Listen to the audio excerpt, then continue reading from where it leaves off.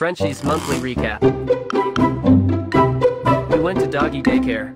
We snacked. We played. And played. Went for a walk. And to the pet store.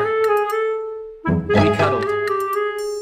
And got to go on a car ride. We napped. A lot. Found a new favorite stick. Patiently waited for our treats. See you next time.